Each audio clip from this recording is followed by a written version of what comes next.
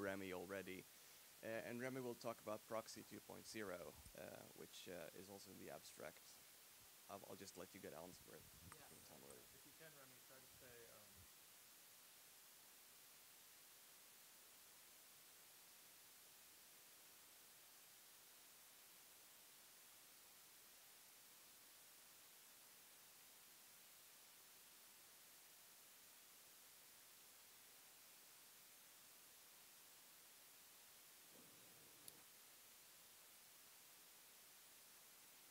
Talking. Hello. okay. So um, uh, the proxy 2 2.0 is a kind of pretext. I mean, um, uh, there is there is two um, only two ideas on, on, on this talk. So the first one is just that Java Lang Reflect proxies something of the past and we should move on and uh, provide a new API in, let's say, Java 9 or Java 10. And uh, the second one is uh, if if I want to implement mon, uh, more modern uh, proxy API, there is something which is fun, which is it's not that easy. And this is a journey to how to uh, implement this. So uh, it's me. Uh, I am an academic. Uh, I'm also a, a, JCP expert for Invoke Dynamic, Lambda, and currently modules, Jigsaw. Uh, let's say just the EOT part. it's my main uh, concern. And the second concern is just um, release it.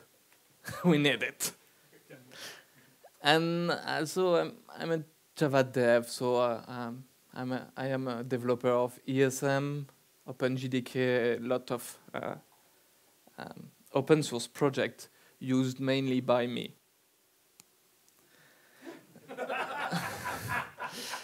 so uh, I have to have a slide. I like your lawyers. Yes. so why why proxy 2.0? Um, basically, uh, everybody's use proxies. Sometimes it's hidden, but most Java frameworks use proxies. Spring, Hibernate, Weld. Weld is a CDI implementation of Red Hat. Uh, JDK use proxy internally for handled proxies that nobody use. I know. And for annotation support, uh, every annotation is just a Java Lang Reflect proxy. the value of an annotation. And dynamically typed language use proxy to, well, some of them use proxy um, just to uh, expose some part of the language to Java.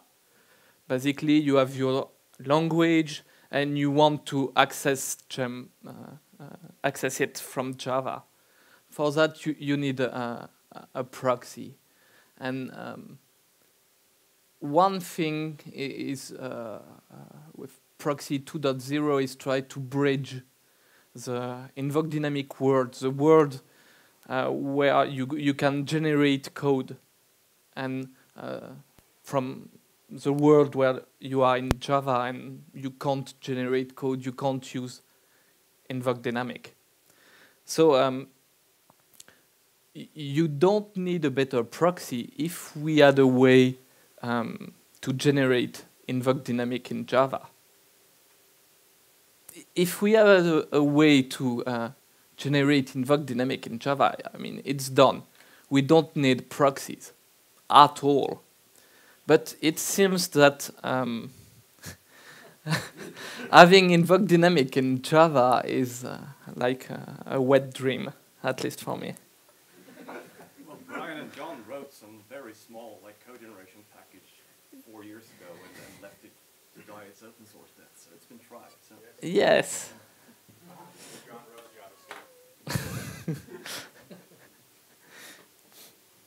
So how Java Lang Reflect proxy words, uh, works. So it, it works like a kind of multiplexer. You have your method, uh, you want this proxy, it will goes in one invocation handler, one method, all, all the calls goes in one method, and inside it you have it as a Java Lang Reflect method. And basically the Java Lang Reflect method is two things. It's something that reify Uh, the, the, the, method as itself. You, you can see the annotation, you can see the type parameters and so on. And it's also something that you can use to call the method. So you use the very same object for the two for the two purpose, for the two meaning. And so here you can do an invoke and goes to the real implementation. Obviously it's slow because here you have type pollution. In fact, this is not slow. This is awfully slow. and remember, every um, Java framework used currently use proxies. But there is a trick. They don't use Java Lang Reflect proxy.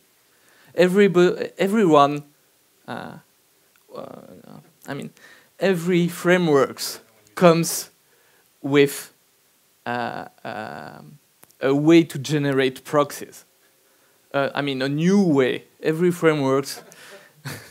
so they use ASM, Java Assist, BCL, and so on. And if you take a look to the code, it's really awful. And most of the time, uh, it's um, uh, for the VM. It works on a small example, but it doesn't work at scale. Um, the we have own JRuby too. yes. Uh, so uh, basically, why Java Lang Reflect proxy is slow is uh, you have the profile pollution the, uh, given the way the interface is done, you have mandatory boxing of the parameter and of the arguments, and you have two objects. You have the proxy object, and you have the handler object, which means that you also pay the, the allocation twice, and the, um, you have um, pointers and pointers and pointers and so on each time you call something. Uh, it's, uh, in fact, it's worse than that, which, which is uh, the, currently the Java Lang Reflect proxy doesn't support default methods. I mean, at all. You, you, uh, uh, you, can call a default method from a, a Java Lang Reflect proxy. I have posted the code on the MLVM list, and I think there is a hack in the code to bypass the security. Thanks. I mean, you can't write, actually, you can't write a code, uh, uh, a secure code that that is able inside uh, inside your handler, your Java Lang proxy handler, to call a default method the default method will be always override by the proxy. And this is exactly the same problem with the Java Lang uh, object method, toString, hashcode, and so on. You have to, uh, to provide an implementation of this method even if you don't want, which is a big flaw, in my opinion. So, um, let's start with a new proxy, a new API, a new world. So proxy 2.0, uh, the idea is it's exactly the same idea that uh, invoke dynamic. Uh, you want to separate the linking from the runtime call. You want to do the linking once, you want to ask the user, please do the linking for this method and after at runtime, always use uh, method handlers. So basically, uh, the proxy handler is not something that will be called at each call, it will be called once when you do some linking. The first time you will call a method, uh, the first time a user call a method of the proxy, it the, the implementation will call the proxy handler and do the linking and the method handle or the call site exactly will be used each time after. So this is something like this. I have my proxy object, I have my handler object that describe how to do the linking, and the first time the method is called, it will call the bootstrap method. Uh, it should remember something. And I have a proxy context, and basically the proxy context describe the method here. And it return a call site, and it will use the call site everywhere. Um, uh, the, the, the, main uh, um, idea here is if you do this, you are exactly in the same world as invoke dynamic for a dynamic, uh, dynamically typed language, which means that you can reuse all the code you already have. So this is the part that you can see in Java, and this is the part where you can use the uh, dynamic runtime of your language. And you just bring them together. So just some kind of live coding just to see how it works in, if it works. Um, so it's just something like this. It's just a hello word for a proxy. So I have an interface. I can put code in an interface now. So it's really cool. I have an interface just with one method. It will. I just want to proxy this interface. So I will use proxy2.create anonymous proxy factory. Whoa, what's this? Um, uh, one problem of Java Lang Reflect proxy is that the caching is done by the uh, Java Lang Reflect proxy implementation. And this is stupid. Usually, uh, the user have more information. So basically, the library don't do any caching. If you want to do the caching, do it. Uh, you, you, can use uh, a class value or something like this for doing the caching if you want. So basically, what the proxy uh, as a library return is not a proxy, but a proxy factory. Basically, a constructor of proxy. So here you send your interface and you provide the bootstrap method. The bootstrap method is called with a context, and in the context you have two information. You have the method, which is the method to implement. It's the method of the interface. So you can uh, call get annotation and do things like this. And you have the type, and the type is the type uh, of the call site inside the proxy. And basically, I have re-implemented the invoke binder interface. Um, I'm just sorry, I have implemented this uh, in the train. Just forget, completely uh, forgetting that it was already existing. so uh, it's a method builder, and you pass the type, you drop the first parameter. Uh, the first parameter, by, by convention, the, uh, the call site at the call site, you first uh, pass the proxy as first argument. Here I don't need the proxy object, so I just drop it, and then I call the method. Uh, I don't remember exactly what I'm calling. Oh, just concat on string. And so here I will use my factory to create a proxy, and I can call my proxy with two parameters, it should concatenate the two. So I will hit run and hope. It, it seems to work, and you can see the bootstrap information. First, you can see that the bootstrap method is called once. It's called is called sorry once. So you have the uh, the method with all the information, and you have the type. Uh, you can see the, the um, uh, it's the method type of the call site. You can see the first uh, object is a proxy object, and you have the agreement after. Well, just a small uh, a small hello world. Let's go to something. Oh, I'm sorry. More fun. Um, this is how to do a delegation proxy that will do nothing, just delegating the thing. What I, what I want is just something that take a print stream as parameter and call it. So basically, I want to create a proxy that take a print stream and just call print on, on the print stream. So I need to store the print stream inside the proxy. I don't want two objects, I just want one.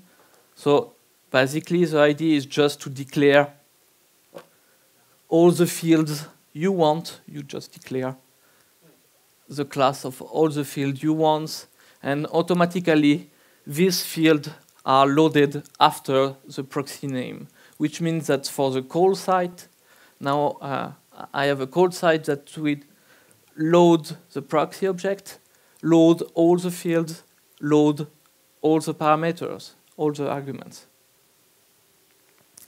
Um, this is the, the, the, the, real handler. So I can say if uh, a field is mutable or not. I need something like this.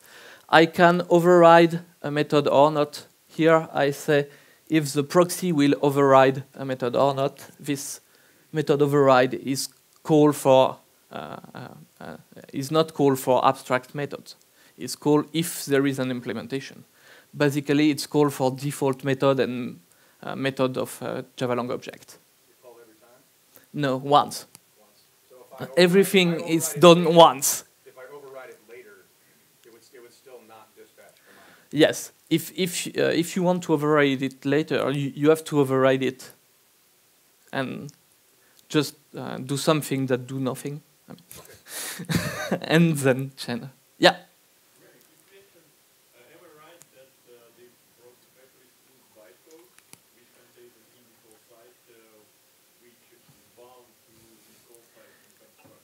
yes, basically, uh, yes, to implement this, I need to spin bytecodes. My hope is that I'm able to spin bytecodes correctly. And, and the overhead of installing that class you generate the bytecode in? uh, I, I, I will answer to, to your question later. Let's, let's see. So it's just, just a simple example. Here, um, um,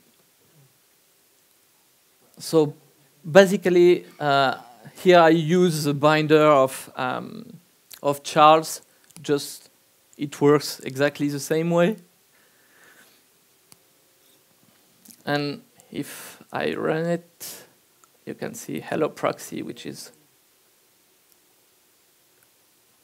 up. Sorry, up which is output on system.out. And then you can do interception, because basically uh, for frameworks, they use proxy to do interception. So it's just a simple uh, um, interception. Here uh, I have my proxy. It's a real proxy, so I have exactly the same interface. I have exactly the same interface for my proxy and for the uh, the object I will delegate to. And um, here you see something which is really fun, which is you can uh, specify. Uh, basically, I have uh, I will create a method handle and this method handle will call another method handle before the first one. So here I will do the interception before calling the, the real uh, implementation. So here my implementation is just a lambda and my intercept method just does a printout, a system that print out println, which is not something that here you can see that the code is intercepted. Before, so something you can do is something really fun, which is That, that, uh, you've got two kinds of Bs there, the, the, um, the B inside your builder is a method handle, correct? um, At the bottom. Or builder, ah, builder. not yeah, it's it, it's a method builder. It's not.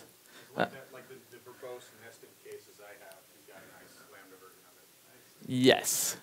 And the whole um, method builder is is uh, implemented with lambda, so it's just one file and not how many files do we have? uh, okay, so basically, if in my interceptor I just throw an exception,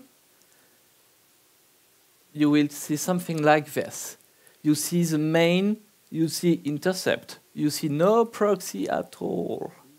Proxies are fully transparent. Oh no, no, you don't want that. I want that. I want to be able to debug um, something that runs on Spring without having a, a gigantic stack trace.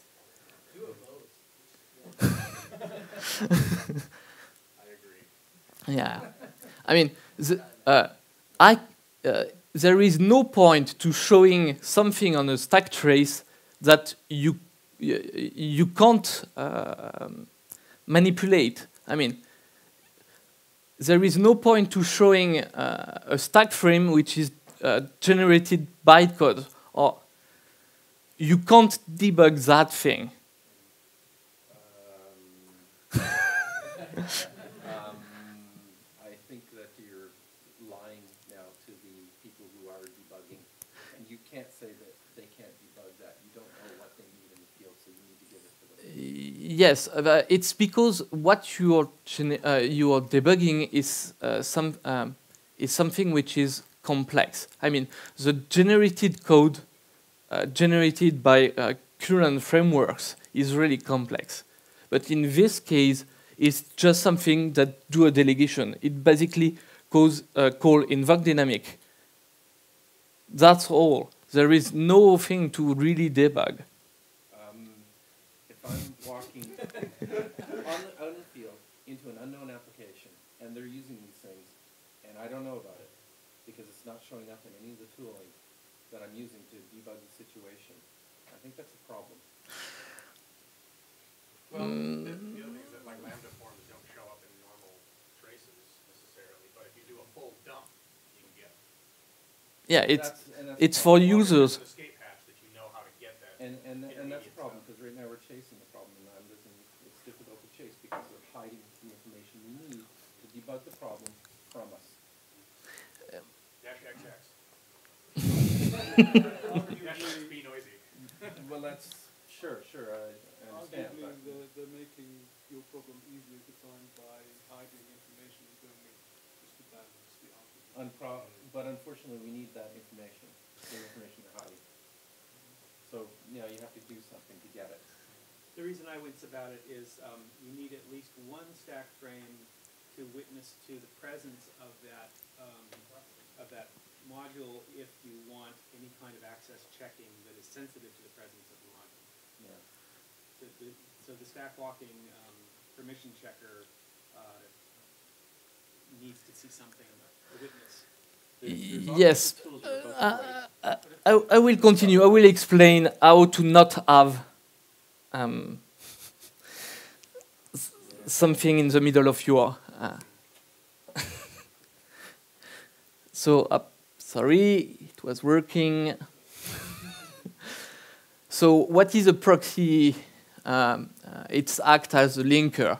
So the override method is called just once uh, to ask if uh, uh, um, the implementer of the proxy prefers the default implementation, the ones that come from Java-Lang object or a default method, or want to implement its own method. And the bootstrap method just do the linking. Fields are stored inside the proxy. You have you have only one object, not two objects, and you have a, uh, um, a method that will take a description of the field. And basically the class is generated using ASM. It use define anonymous class. Why? yeah. Uh, now we are uh, in the uh, oops part of the talk. Um, uh, it's because you want to implement a private interface. I mean, interface that are only visible from some part of the code. uh, so basically, the host class of define anonymous class is the interface, so you can implement a class that will see the interface. Obviously, it's a big security oops, because now I'm able to implement any interface of anyone. So the create anonymous proxy factory takes a lookup as parameter and check that the interface is visible from the lookup object. If the interface is not visible from the lookup object, We need more API on lookup to do that. Lookup dot find class. yeah, it should be better. Um, so basically, I use define anonymous class just because of this uh, API. I want this API. It has some nice side effect. Let's call it that name. There is no class. there is no class loader. I mean, you don't. Uh, uh, I mean, class loader is something which is too hard. So if there is no class loader, there is no problem. At least not this one. And basically, uh, it uses uh, constant pool patching to inject the Java-Lang reflect method. Yeah, uh, it's I use define anonymous classes. I use the fun things of define anonymous classes, which is a constant pool patching. I I don't know if you know that there is this facilities. no, no, no, no, no, no, no, because of that. Because of that. Uh, I mean, um, what define anonymous class uh, uh, provide you is you can send the bytecode and you send a live object. And basically what you're saying is, I want uh, my bytecode and I want to patch the constant pool with some live object, which is something which is really fun, uh, or perhaps even fundamental if you implement a dynamically typed language, because you can stuff live object inside of your implementation. So basically it works that way. You can only replace string constant and you have two way and you have two ways to load the constant load yeah. it's patching either you use LDC or you use invoke dynamic and you can patch the bootstrap uh, the, the constant argument of the bootstrap method uh, I clearly prefer this way because uh, invoke dynamic um, bo um, uh, bootstrap method is called with um, uh, invoke, which means that I don't have to do any typing. It will be done exactly. I have no check cast and things like this. Using LDC is funny because you basically load a string and then you check cast it into method handler. Yes, and it works. so so this this thing is a little safer, let's say like this. But but You have so much fun in academia. yes, but basically, uh, uh, uh, um, currently you can't have constant pool patching without the unsafe define anonymous class, and I think it's it's something which is uh, um, um, bad. I want a defined class that allow constant pool patching without the without the anonymous class uh, from the VM point of view. Yeah, but might need some better semantics for, for, for it. I mean, I, I- I don't, I don't think the real world should be let loose with, ah, this is a string. No, it's not. Uh, yes, Mm, oh, yeah. If you stuck with Invoke Dynamic and not LDC, it's it's a bit nicer. I mean, you don't see the wall things. Uh, it's because uh, you you can type your bootstrap method as you want, so it's okay. We have on paper a design for constant dynamic. Mm-hmm. Another dynamic. yes.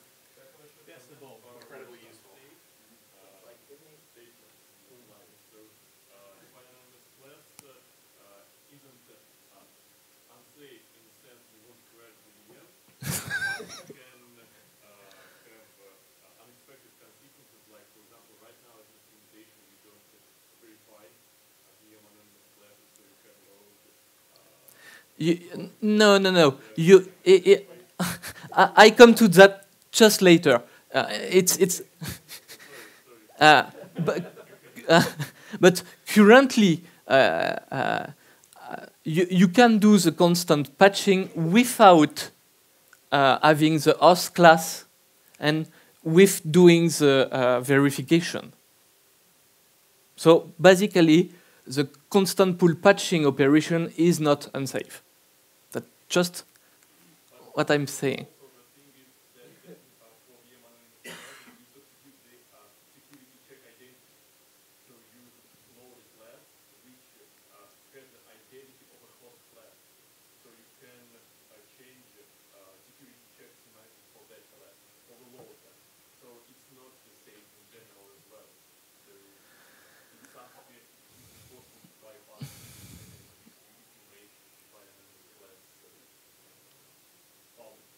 Um, I'm, I'm not sure. We will talk about that. So basically, the proxy is totally hidden. So how to hide something? I mean, if you generate bytecode, it's very easy.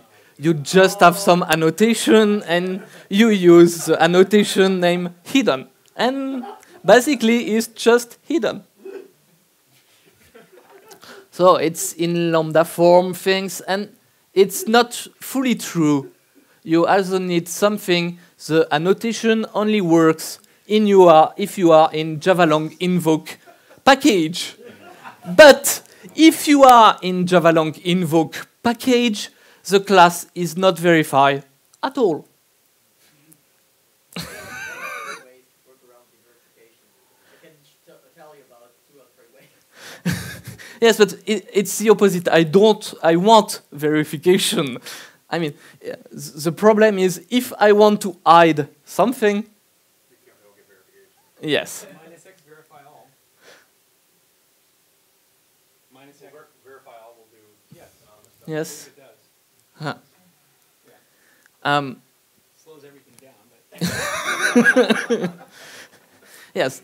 Uh, the one uh, uh, advantage of uh, being in Java Lang invoke package is that you can also have force inline.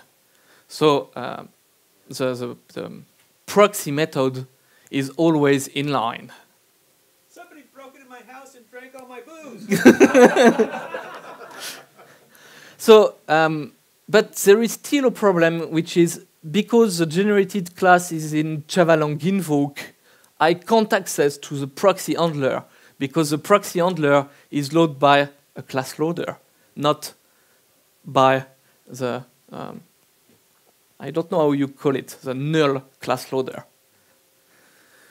Um, so the infamous no class def found error. No. No. No. No no idea how to to do that? No?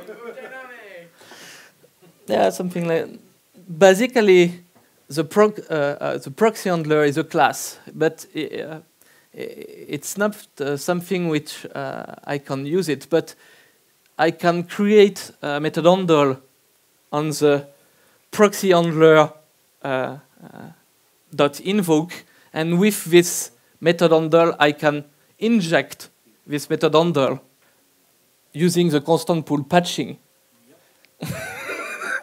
to bypass the security. so basically, just inject proxy handler dot bootstrap as a constant. I, I guess if you say constant pool patching one more time, you're not going live outside. What happens at the VM summit stays at the VM summit. Is there a panic button for the streaming? Yeah, progress control.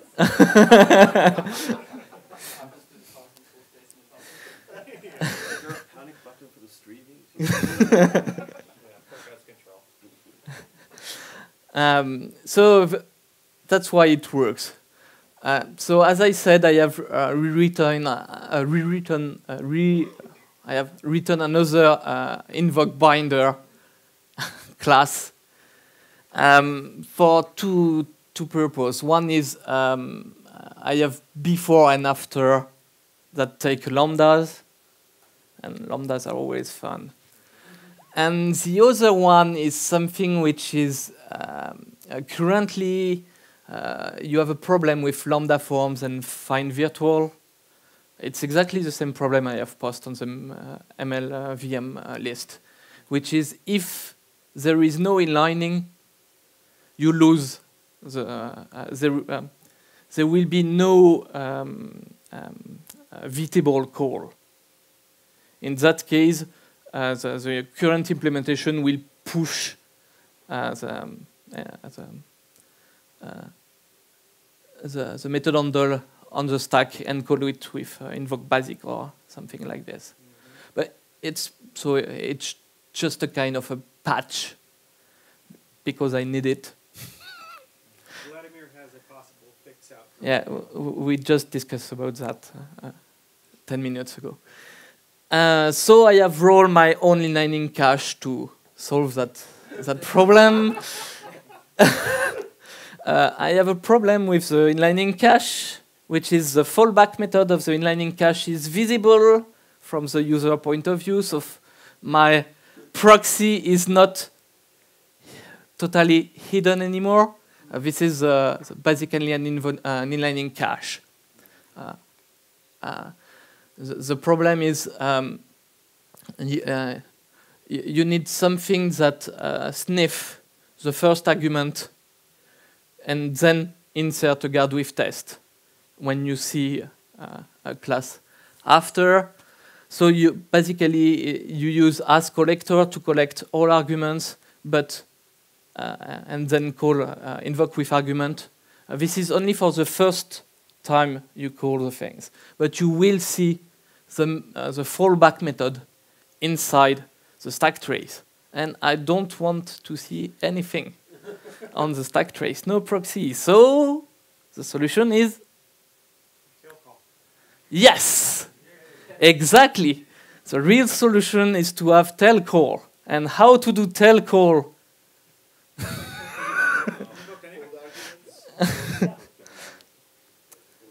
fold arguments plus exact invoker will do the job. So you have a way to do a kind of kind of tail call currently, which is to use fold argument and exact invoker. It works that way. Basically, you return a method handle, so your fallback method will return a method handle, and it will be followed as first argument of the exact invoker. Yeah. it works. And, and it's a better way to implement an inlining cache. Yeah.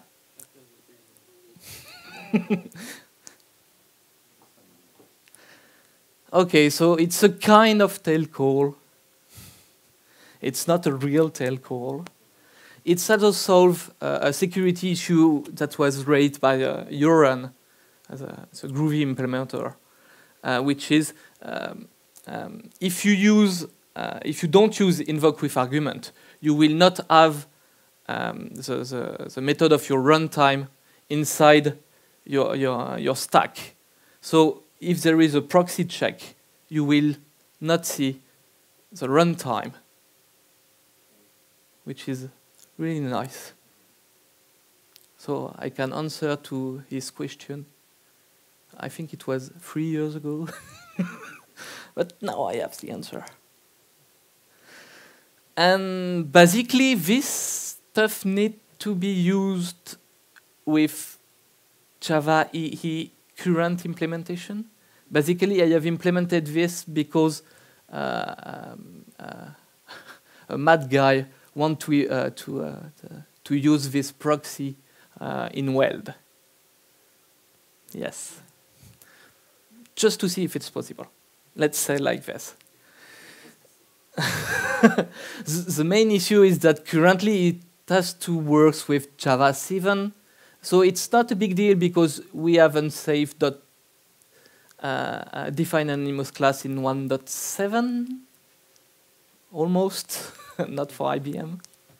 Do you want to backport it, please?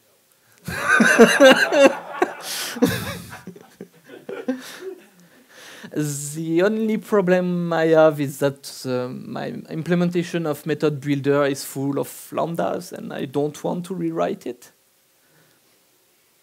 But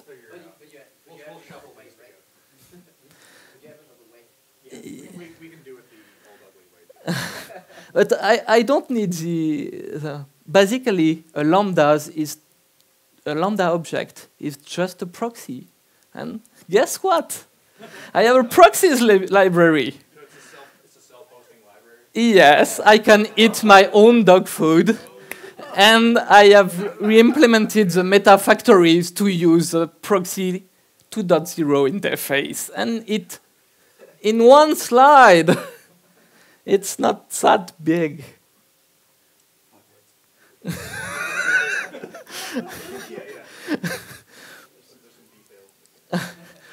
so basically, uh, I don't I don't know if uh, if you know how uh, a lambda is implemented, but basically, uh, the first time you uh, you reach lambda, it will create a proxy. So it calls this method with the method handle implementation here is the content. It's the body of the of the lambda, and basically I create a proxy that will uh, use the implementation, drop the first argument because this is a proxy, and just stuff it as a constant call site.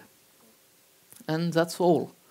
Um, technically, I need a, uh, I need a, a, a as type here because of the bridge things. I can have uh, not only one uh, uh, method in a functional interface uh, from the VM point of view because you can have several bridge, but that's the only, the only problem. Okay, let's see on an example how you can use it. Um, here I want to write a Java JavaScript bridge. I will not touch the Nashorn uh, runtime. it's just an example, uh, just a toy example. So I have uh, a code in JavaScript that define the functional list, just with cons and nil, just for fun. And I have two, two functions in this list, size and for each. And basically, I want to manipulate this functional list in Java. So I will describe using interface the uh, interface of this JavaScript code. So I have a factory, we like factory in Java, with consent nil, which correspond to the, the two methods, to the two function here, and it return a fun list with my two operations. Um, and I need some kind of uh, weird stuff as a script object mirror is the uh, implementation detail uh, of Nashorn. Uh, it's uh, a way to represent an object uh, in the Java world. So what I want to do is just to be able to load a JavaScript here, my fun list, um, be able to bridge it. Let's say I will take the global uh, the object corresponding to the script and see it as my factory so I can be able to call cons or nil on it. It will return a fun list and on a fun list I can call size or for each with a lambda. It's Java and JavaScript integration. Yes. Huh. Just a, um, just a demo, it works. so, um, oh, yeah, it, sorry, it just in the bootstrap method, you, if you see a get, you will just uh, combine the different things. But basically, what you do is you have two magic operations. One is called wrap, and the other is called unwrap. And basically, it transforms a JavaScript object as a proxy, and it transforms the proxy as a JavaScript object. And that's all. I mean, the code is a little big, but not that ugly.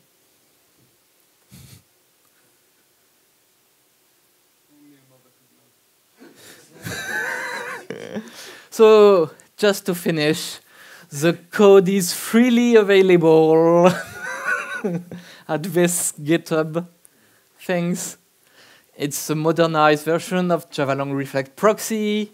It uses a proxy handler as a linker, not in the middle. It supports uh, object method and default methods. It's transparent and fast. On my own laptop running Hello World. no, uh, uh, I haven't done any benchmark. I have just checked that the JIT was able to fully inline the whole things, checking the generated assembly code.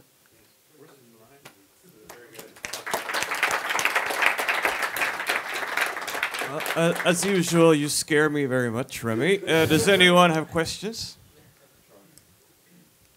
Uh, one, one of the other reasons that we wrote our own proxy uh, was for dynamically extending Java classes.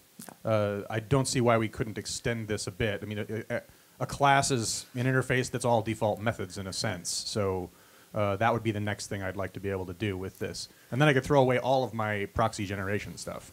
Yeah, but uh, I have I have chosen actually to not uh, uh, inherit from a class because I want to hide the proxy and I don't want him to debug in it.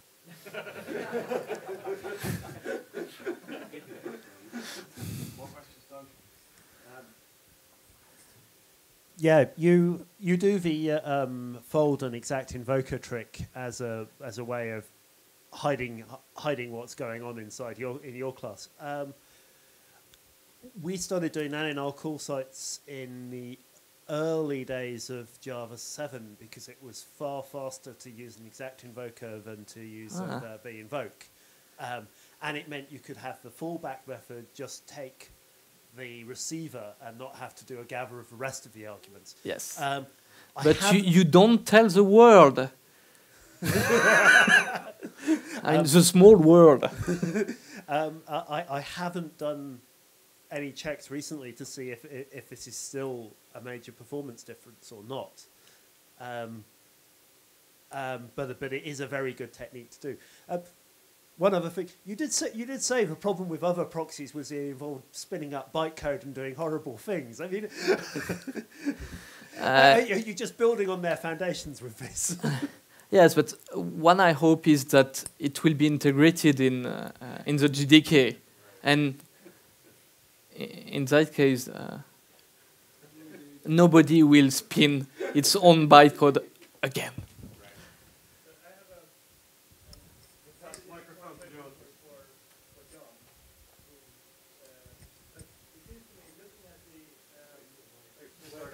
Is this on? Yeah.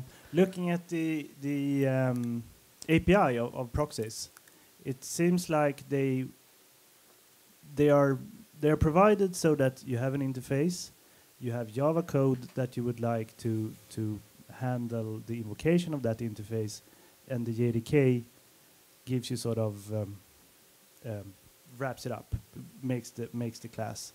So it, it to me it seems like uh, what people are using proxies for when they start using when they instead could be using bytecode invocation is sort of the the the wrong thing. Um, the the proxy interface wasn't designed really for the use case that you are using it for. Now that doesn't mean that we shouldn't improve it or evolve it, but but this is sort of this is two slightly different things. One is I have Java code that I want to hook up to an interface, and the other is I want to generate custom implementations of this interface, and uh, I I know how to spin bytecode.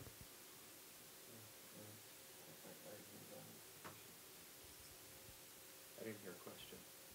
Now, uh, I, John, you were maybe you know more about the history of, of the proxy interface.